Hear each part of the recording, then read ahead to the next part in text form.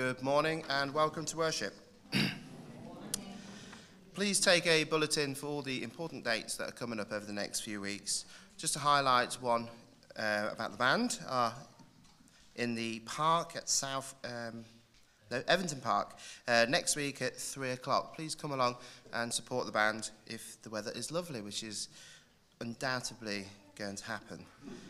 Um, Saturday, the 10th of June, uh, there is a summer music night um, that is taking place in this hall, and that would be the band and the songsters looking to perform some nice summery uh, pieces um, during that evening. There is also, uh, to be confirmed, the date on the 24th of June.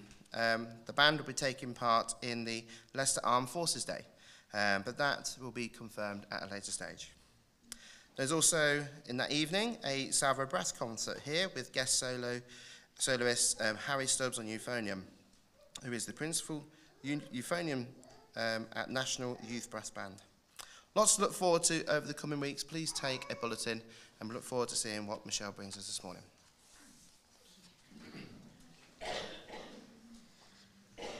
Morning, all. I'm flying solo this morning. Uh, we got to Friday afternoon and realised we had seven days holiday that have to be used by next Sunday. So we're uh, Carl's taking this Sunday. I'm taking next Sunday, so that we didn't have to find somebody in two days to cover this morning. So, so we will we will be away most of this week. Um, we have a funeral to attend uh, tomorrow of a sessional colleague that sadly passed away um, a week or so ago. Um, but other than that, we shall be on holiday this week. Good to be with you today. And uh, our theme for today is Candidate Sunday. You were warned last week. Um, there will be a collection at the end of the meeting this morning for the Candidates Fund. So that'll be a bit of our focus this morning. Um, Elaine's going to give her testimony. She's not a candidate or a cadet, but has got um, a bit of a story about God calling her into ministry that she's going to share with us this morning. We're going to focus a little bit on the cadets that are currently in training. But one of the things that we're really highlighting today is the, that this year it has been really touch and go as to whether there would actually be a session entering training. For the first year, they, are, they have struggled to get the minimum quota for a training session. The session will go ahead, but there are 10, 10 cadets this year. Just 10 entered into training college. So um, we really need to pray about the future of the Salvation Army, don't we? We have lots of corps that are unofficered. We have um, more officers retiring than we have being uh, commissioned. So um, even if we're past the age and uh, won't be volunteering this morning, it's still a matter for prayer, isn't it? And um, so we continue to focus and highlight um, Candidate Sunday for our territory. So we're going to start by singing a song together my meeting plan's disappeared. So uh, it's song 978 Rouse, soldier, rouse thee, war is raging. God and fiends are battle waging, every ransom power engaging. Break the tempter's spell. Let's stand to sing.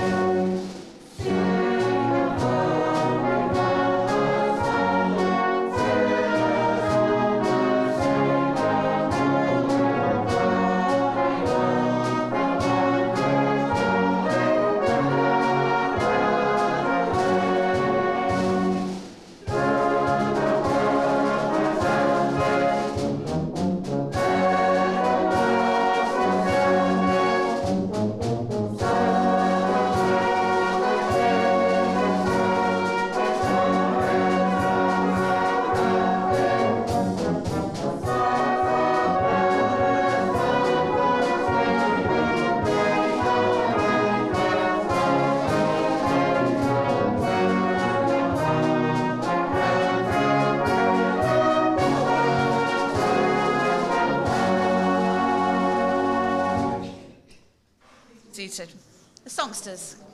Nicely warmed up.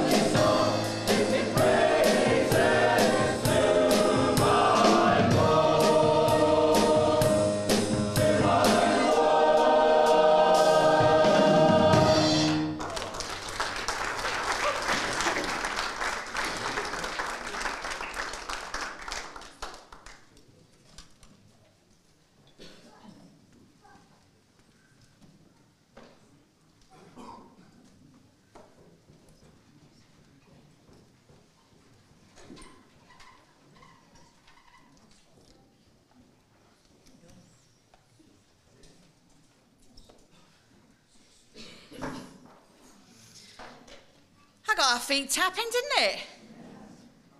If your feet weren't tapping, you're not awake yet. Well, having got the blood pumping, we're just going to calm it all down a little bit now. And we're going to sing a song together from the songbook, Song 355 Beautiful Lord, Wonderful Saviour. I know for sure all of my days are held in your hand, crafted into your perfect plan. Isn't it good to know that it doesn't matter who we are, what age we are, what our background is, God has a perfect plan for you?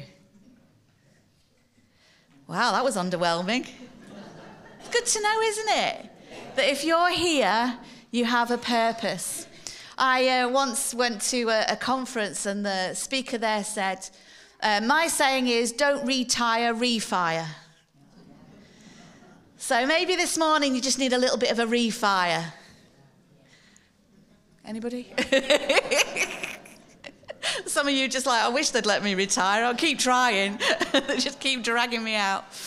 But we all have a purpose. We all have a um, reason for being here. And uh, I used to say when I was younger, you know, even if the best purpose I have is to be the best mum I can and raise children that'll have an influence on the world, and I've done my job. So we all have a purpose. You can even do that as a grandparent, can't you? Be the best influence that you can for your grandchildren so that we have great young people coming forward and uh, have their place in the world and being leaders. We all have our part to play in having a good society. So let's sing this song. Let's come before God. Thank Him that He has created us, thanking Him that He has a plan for us.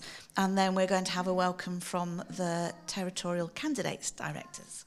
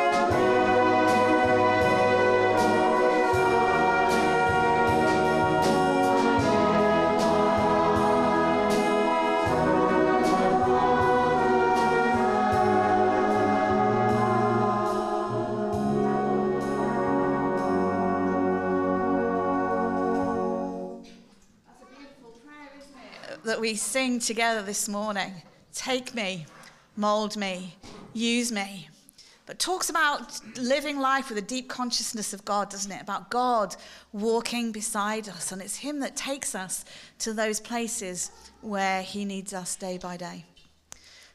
Thank you, boys. If we could have men at the back. Friends, it's good to connect with you like this today. Thank you. Andrew and I have been in the candidates unit for eight months now, and we're really enjoying our time based here at the William Booth College. Did you know that we even live here? Candidate Sunday is a day when we can think about our own life and calling, which of course we do throughout the year.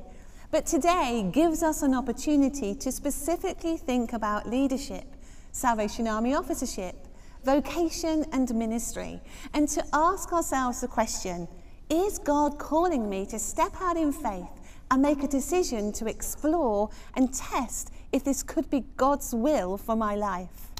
Now, let's be honest, the last few years have been really tough for almost everyone. This global pandemic took up so much headspace. There was not much chance to think or plan for anything else.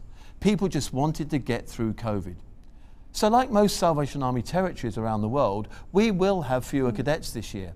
But the exciting news is that many people are talking about wanting to start the discussions and the process towards officership talking about their hopes, their prayers, uh, their desires to come here in 2024 and 2025. COVID made us think about what's really important. It gave perspective and, and, space to ask questions like What am I doing with my life? Is there something else for me to do? Do I need a change of direction? What am I doing on earth? or what on earth am I doing? we read in Matthew chapter 5 verse 14, Jesus said, "You are the light of the world." In the message paraphrase, we hear him saying, "Let me tell you why you're here. You're here to bring out the hmm. God colors in the world." That's for all of us. Hmm. We're here to make a difference on planet Earth for God, to be available to Him to use us as He desires. The scriptures tell us that God has plans for our lives. So, what about leadership in the Salvation Army? We need officers, that's obvious. Could this be you? If you're not sure, then pray. Take a step of faith. Talk to others, your, your corps officers, your, your DHQ team. Start the conversation. If it's right, then doors will open. Mm. But if you never make that step, then you'll never know. Listen, if God has called you to be a teacher and you become a Salvation Army officer, then you're missing out on the highest calling for your life. But if God has called you to be a leader in the Salvation Army and you become a teacher, a barrister, an estate agent, a shopkeeper, a builder, a professional footballer, whatever, then you're missing out on the highest calling for your life. You're called to be a leader in the Salvation Army. So today and in the days ahead, can we encourage you, friends, to take some time to think, to pray, to discern, and to decide what God may well be saying to you about these things? And above all, remember how loved and valued and cherished you are by the God who placed the stars in space. Here's a scripture that we would like to leave with you. It's found in Philippians chapter 1 and verse 6, and it's from the voice paraphrase.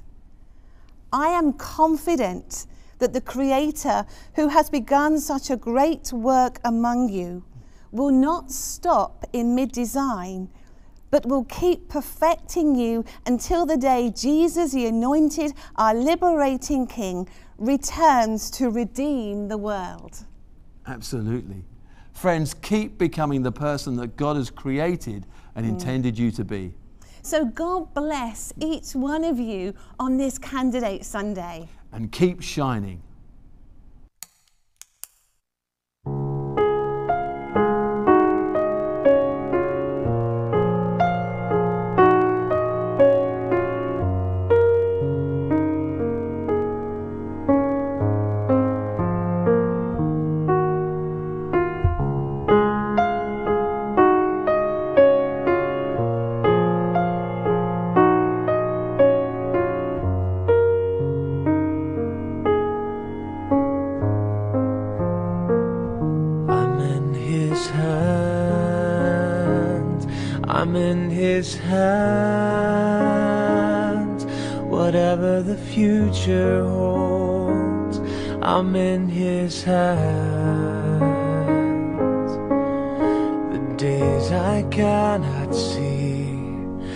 Have all been planned for me.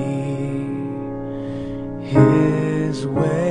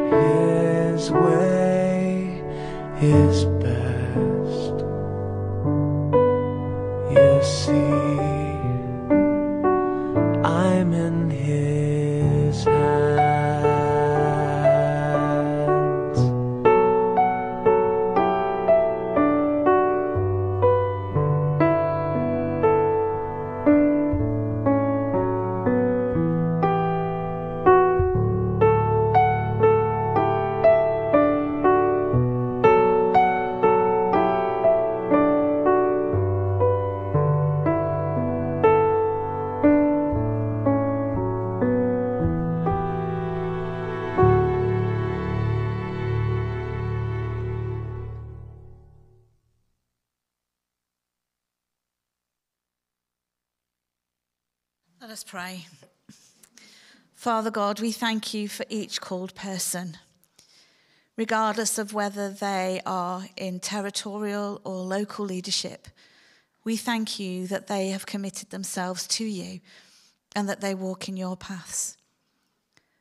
Father God, we thank you for every individual who has leadership in this place, for our PCC, for our mission team, for those who have influence in their conversations, in discipling others, for those who lead without titles.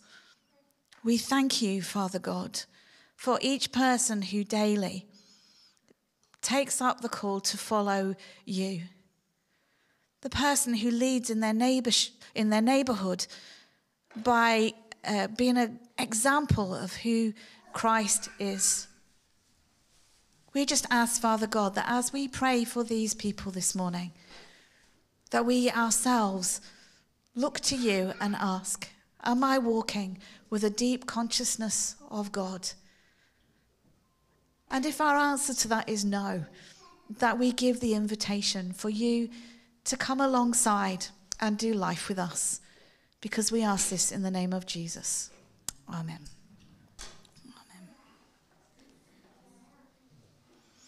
We're going to share our scripture reading for this morning, and it's from Judges chapter 6. I am making apologies, but this is one of my favourite stories. So, Judges chapter 6, verses 11 to 24. Then the angel of the Lord came and sat beneath the great tree at Ophrah, which belonged to Joash of the clan of Ab- Ab- Abiezer. Gideon, son of Joash, was threshing wheat at the bottom of a winepress to hide the grain from the Midianites.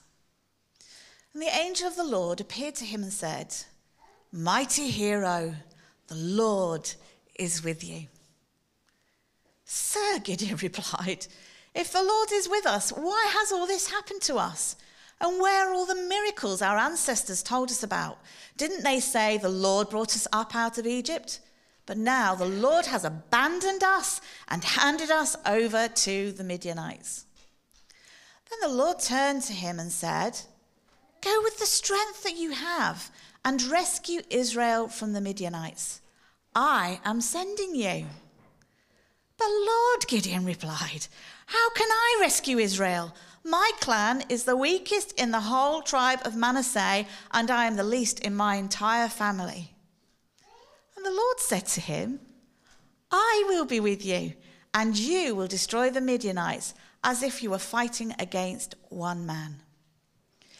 Gideon replied, If you are truly going to help me, show me a sign to prove that it is really the Lord speaking to me. Don't go away until I come back and bring my offering to you. He answered, I will stay here, wait for your return. Gideon hurried home. He cooked a young goat, and with a basket of flour, he baked some bread. This is a bit of a long wait for an angel, isn't it? Then, carrying the meat in a basket and the broth in a pot, he brought them out and presented them to the angel who was under the great tree. The angel of God said to him, Place the meat and the unleavened bread on the rock and pour the broth over it. And Gideon did as he was told. Then the angel of the Lord touched the meat and bread with the tip of the staff in his hand, and fire flamed up from the rock and consumed all he had brought, and the angel of the Lord disappeared. When Gideon realized, finally, that it was the angel of the Lord, he cried out, Oh, sovereign Lord, I'm doomed. I have seen the angel of the Lord face to face. It's all right, the Lord replied. Be not afraid, you will not die. And Gideon built an altar to the Lord there and named it Yahweh Shalom, which means the Lord is peace.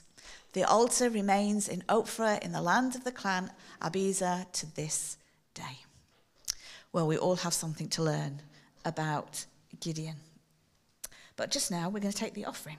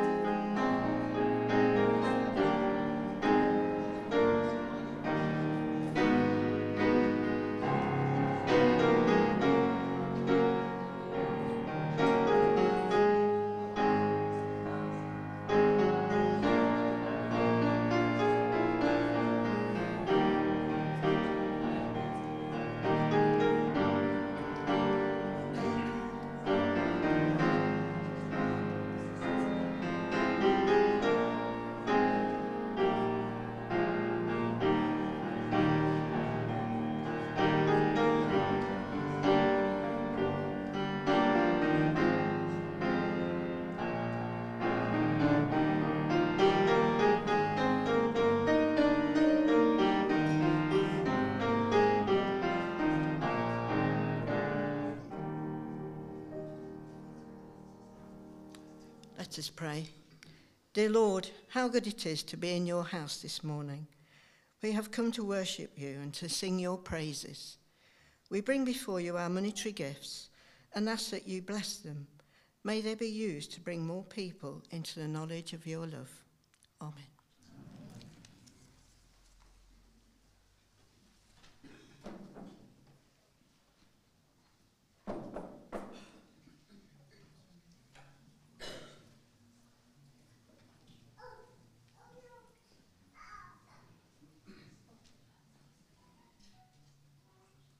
We're going to sing uh, another song together. It's 1002 in the song book. I, the Lord of sea and sky, I have heard my people crying. Let's stand to sing.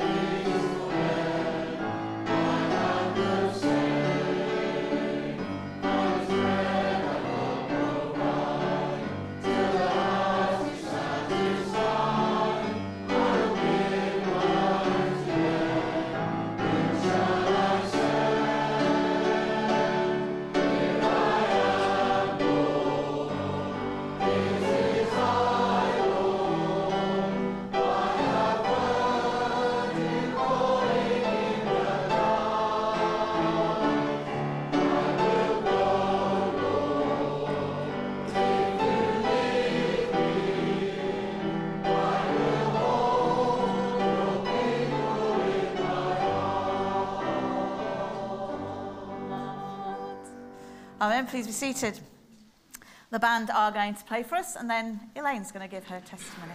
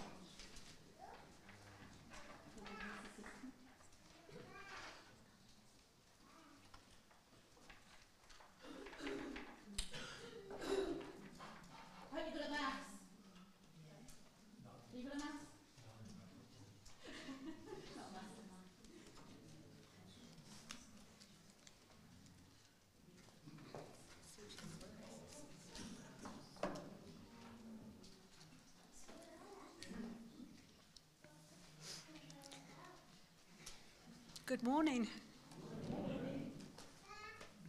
Shall we pray? Dear Lord, you said, Look, I make all things new. Grant us, we pray, the vision to see you at work in our world, healing our brokenness and making us new. Grant us the wisdom to hear your voice through the noise that surrounds us, and grant us the courage to bring to fruition the world you are creating. Amen.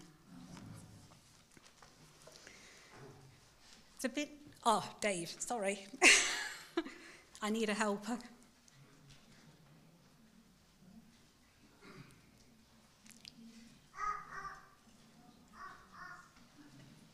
Sorry, almost forgot.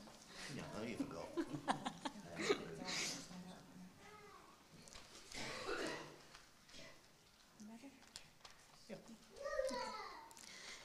The beginning of 2021, a family member was diagnosed with a terminal illness, and in October of that same year, she died.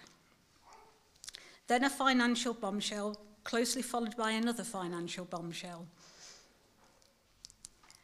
A strained relationship, dark thoughts, sickness, troubles at work, more dark thoughts more so- sickness, exhaustion, and decreased stamina. A period of needing to address and settle unsettled issues of long ago. A period of feeling like my own death was approaching and needing to make my wishes known, but also at peace about this. I came to the mercy seat a couple of times to take it all to God. Then Maureen came alongside, and we went out to the prayer room for a chat. The following day, I received a message from Michelle. We arranged to meet at Geno's. I shared my story with Michelle. What I was, expect- what I was expecting was a ticking off. Yes. Condemnation. Yes. what did I get? A deep, mind blowing, and scary revelation that needed discernment, courage, and action. Also, jaw dropping encouragement, requiring lots of thought, prayer, courage, and faith. I shared with Michelle my vision of myself in uniform on the streets of Wigston selling the war cry. Not because I necessarily wanted to sell the war cry, but because I wanted to be out there with people that were hurting.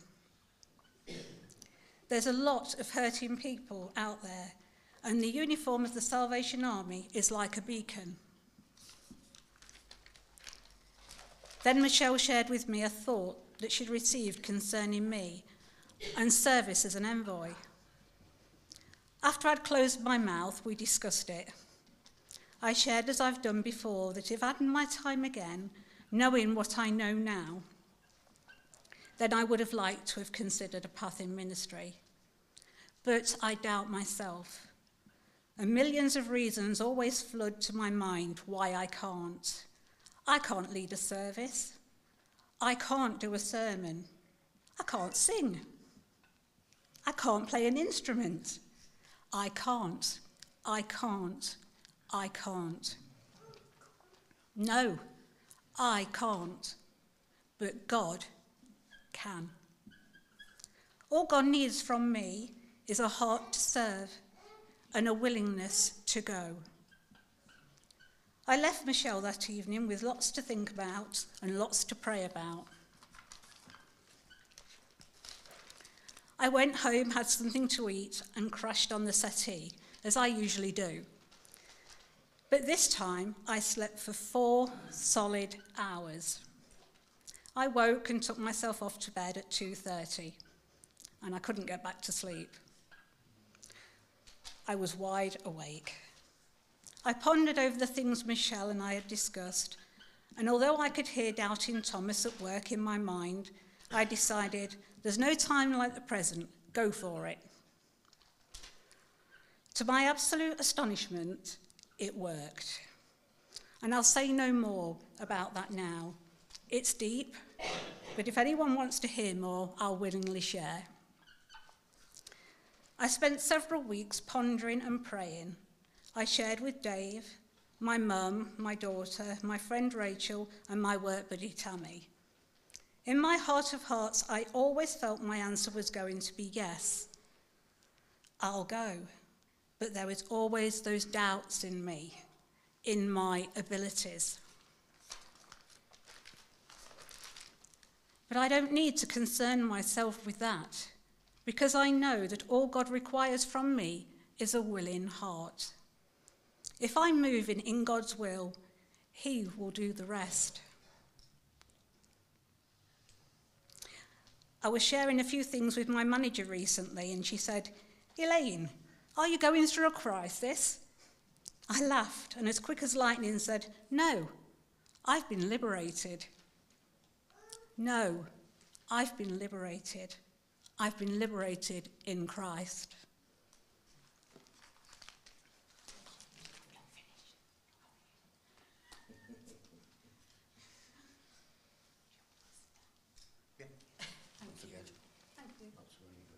Yeah, okay, thank you.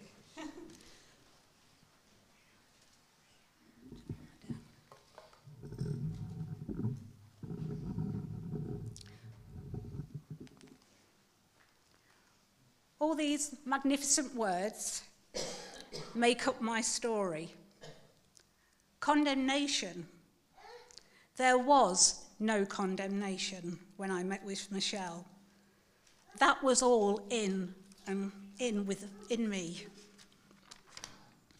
John 3:17 says, "For God did not send his son into the world to condemn, but to save the world through him." Then came revelations, discernment, courage, action, encouragement, prayer, faith, vision, hurting people, uniform, self doubt. I can't, I can't, I can't. But God can. All he needs from me is a heart to serve and a willingness to go.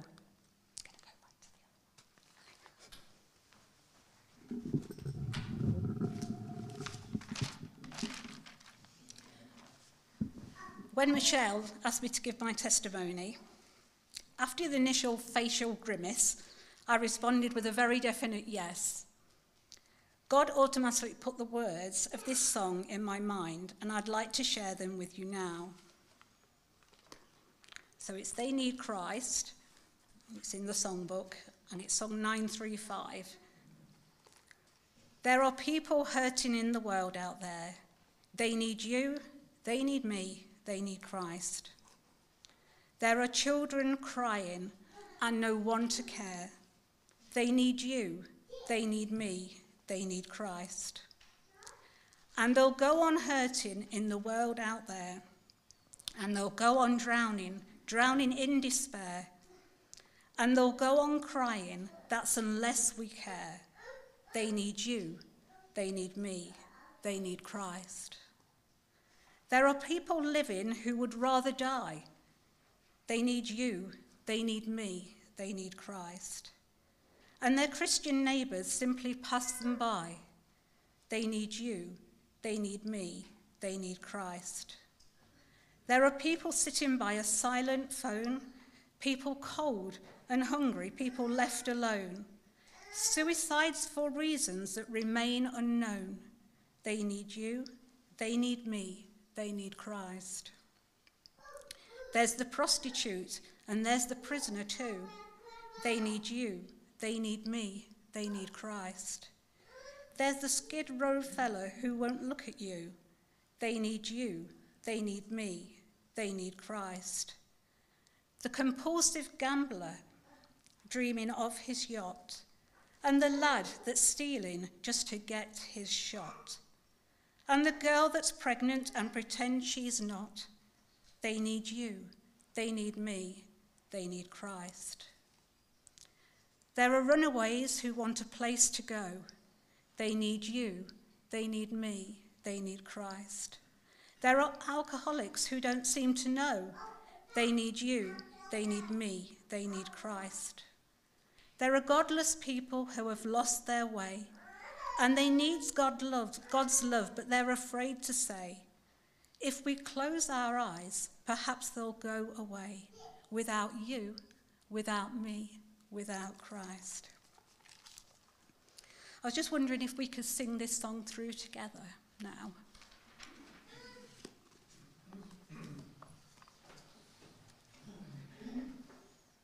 The words are on the board.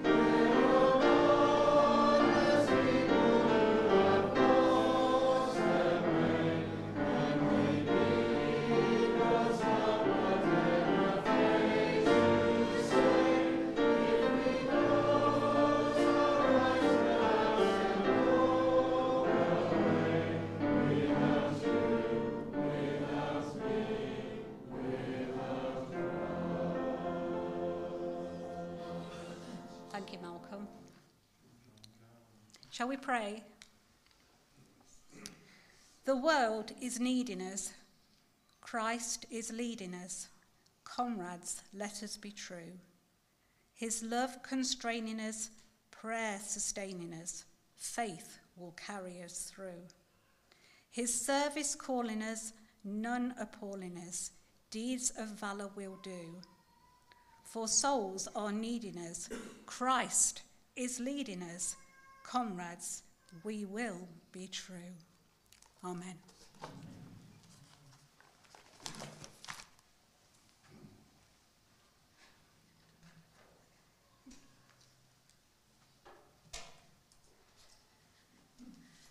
Thank you, Elaine, for sharing that testimony with us this morning. Uh, just to be clear, that um, Elaine has offered as a divisional envoy, which just means from time to time um, she has offered to cover meetings for unofficered corps or officers that are struggling to get meeting coverage. So it'll just be a, kind of pop in and out ministry as um, time and circumstances allow. I think the important thing to notice as well is that there is no acknowledgement that Elaine is the finished article, that there are things in her life that she's working through, but sometimes God just needs the yes, and then he deals with all the mess. Sometimes he just needs a yes, and then he deals with the mess. Um, there's going to be a lot of training and mentoring on that journey, and uh, it's just the beginning of a process. But the yes is there, and that's where we start. A little bit like our old friend Gideon, who started in a bit of a mess, hidden away in a cave, threshing wheat in a wine press. Now, if you know anything about threshing wheat, this activity does not happen in caves and in wine presses because the whole point of separating wheat and chaff is that you throw it in the air the wind catches the chaff and the grain falls to the ground. How much wind do you think there is in a cave and a wine press? Not a lot. The trouble is, the Midianites were stealing the crops, so they were trying to hide them. And in this battle, Gideon was doing what he could. He wasn't hiding away doing nothing, he was doing all that he knew to do. If the best I can give at this point in time is stand in a sweaty old cave in a wine press, throwing things in the air and hoping for the best, then that's what I'll do. So we're going to give him a bit of a break to start with. He was doing what he could do in difficult circumstances. His story goes a little bit downhill after that because he's a bit of a whiner, isn't he? There is an angel has appeared and planted himself under a tree. That would have got my attention for a start, wouldn't it, you? You were just out doing the gardening, suddenly there's an angel sitting under your apple tree. Hey up. There's something going on here. What's God up to now? And God tells him through this angel, this plan, that he is going to be the one to save his people. As if he was fighting just one man. Gulp. And how does the angel address this um, whinging, whining little man? Hello, hero. Wow. Let me just check out. No, nobody else here is talking to me. Hello, hero. Got a job for you. But this man doesn't see himself as the hero that he's been addressed at. And when he's given this plan, what is his comeback? Well, a whole load of excuses. I can't, I can't, I can't. Because you're looking at not just somebody who comes from the least tribe of Israel, the least important on the hierarchy. I'm in the bottom one. And then not am I only in the bottom one, but I'm the bottom of the bottom. I'm as low as you can go. Go choose somebody else. I ain't your man. I am not a hero. He is having this conversation with an angel of the Lord. I think if God called me something, I'd just take that as, okay, we'll, we'll run with that. But he's offering an argument. But then I think if I had been asked to go out and take on a huge army as if they were one man, I may also be looking for excuses. I'm washing my hair on Thursday, can't do it I've got a doctor's appointment. Do you know how busy my family is at the moment? Have you seen everything that's going on in my life at the moment? These are not easy times. And you're asking me to go on and take on this battle all by myself. Well, see, there is the key. Not all by myself. Because what is the one promise that the angel gave him? Have courage, because I'll be with you. Have courage, because I'll be with you. You see, as the story unfolds, Gideon has this, okay, I'll do it moment after he's gone away, cooked a whole meal, kept while keeping an angel waiting just to prove you really are from God. It's like turning up for an election, isn't it? Having to have photo ID. Can you prove you're really an angel? And uh, he goes away, cooks this meal, he lays it on a stone, and the stone sets fire, even though it's got wet broth all over it.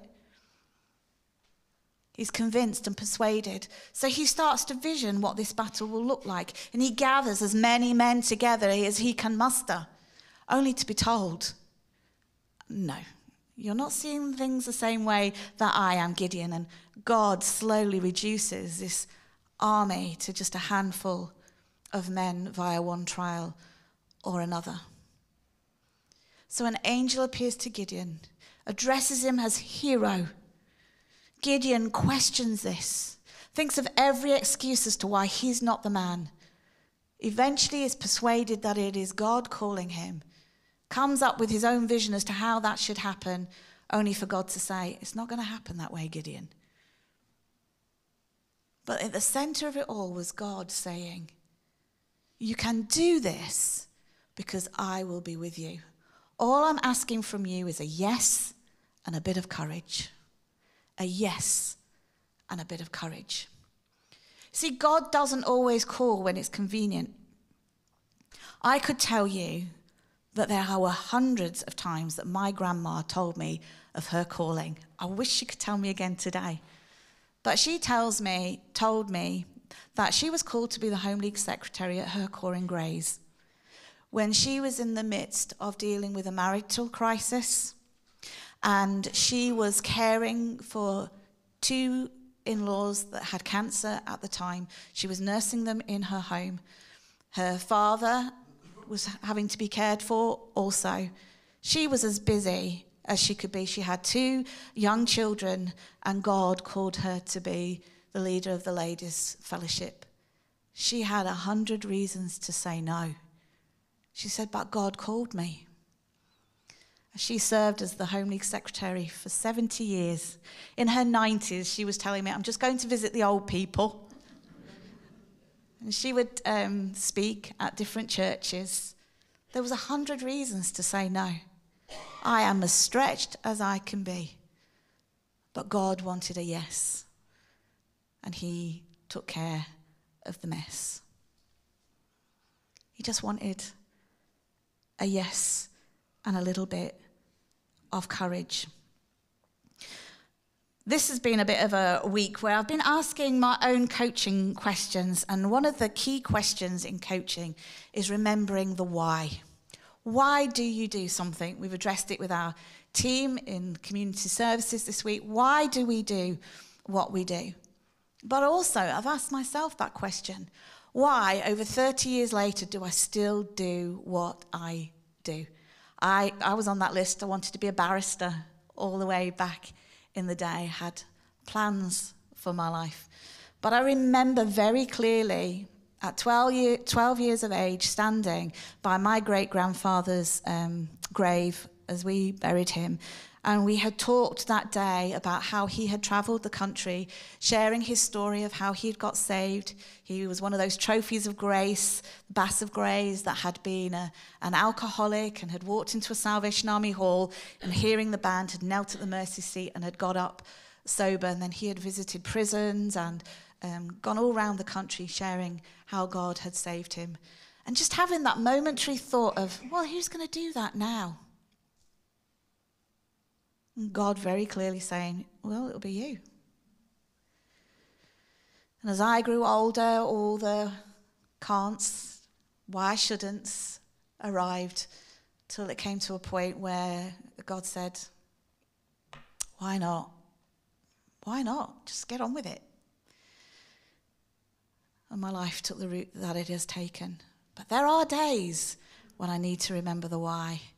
Because I remember that God is a God of salvation. All the things in that song that Elaine shared with us this morning, I remember that. And that God needs people to save people. It's His Spirit that does it. We can't save a soul. It's Christ and Calvary that does that. But Christ through us, being His hands and His feet and His mouthpiece, we can bring people into saving knowledge of Jesus Christ. It doesn't have to be in officership, it can be in our daily life. But daily, God is looking for the yes and a little bit of courage because He says, I am not sending you alone. The world is in a bad place. It is dark. There are troubled times. It is scary putting your head above the parapet. Um, I had a, couple, a conversation with Denise and Grace a few weeks ago about how can we be a Christian in our workplace when there are certain rules that say that what you can and cannot say. It's difficult being a Christian. It takes courage to represent Christ in this world today. But God never said we would be alone. He asks for a yes and He'll take re- care of the rest. Just say yes. If you need training, I'll give you training. If you need mentoring, I'll give you mentoring. If you need encouragement, I'll send you encouragement. If you need resources, I'll give you resources. But all I'm asking from you is a yes. Are you too tired? I'll give you the energy. Are you too stretched? I'll find capacity. But if I am calling you, then all I ask for is a yes. So I wonder has there been an angel lurking around recently in your life? Are you conscious that there is somebody talking to you? That there is something waiting to be done, and you're given all the excuses as to why it shouldn't be you? Well, if you need to, test it. Ask the angel to prove their identity if you need to.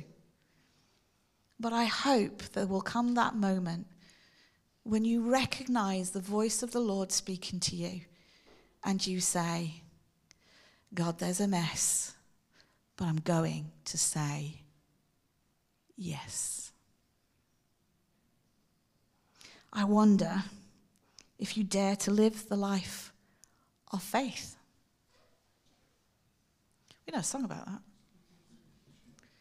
The life of challenge God has planned, of holiness and victory for truth and righteousness to stand. You know, the end of the story for Gideon is that he won the battle. He won the battle with God. And you will too if God has placed you there. Let's stand to sing. Let's ask the question. And I pray that at the end of it, there will be a response.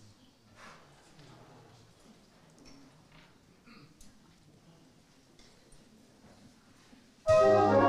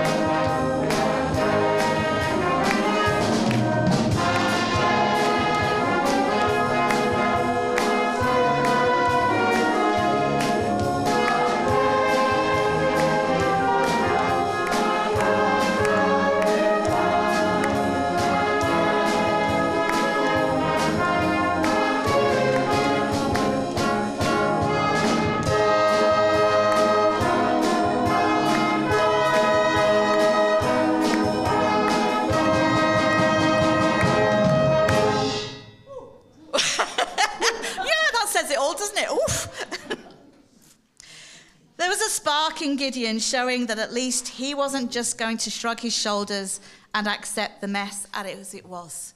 That's why he was in the wine press. He knew he had to do something. He was sufficiently challenged to act somehow, even if it seemed awkward and pathetic. My question to you this morning is what is it that sparks a challenge in you? What is it that stirs you to action, however limited and restricted we may feel our response to be? Because if you know it, God will take it and He will use it. You just need to say, I dare. Let us pray. Father God, we thank you that you call us together to worship, to fellowship, to encourage, to be uplifted. But we also thank you that you send us away. You send us into your world to encourage, to uplift, to share your love, that others may know that we love you and you love us, and that ultimately, whatever mess they find themselves in, you love them too. So we pray that today, as we go from this place, you will place a spark in our hearts that we will be the God colours in the grey world. Because we ask it in the name of Jesus. Amen.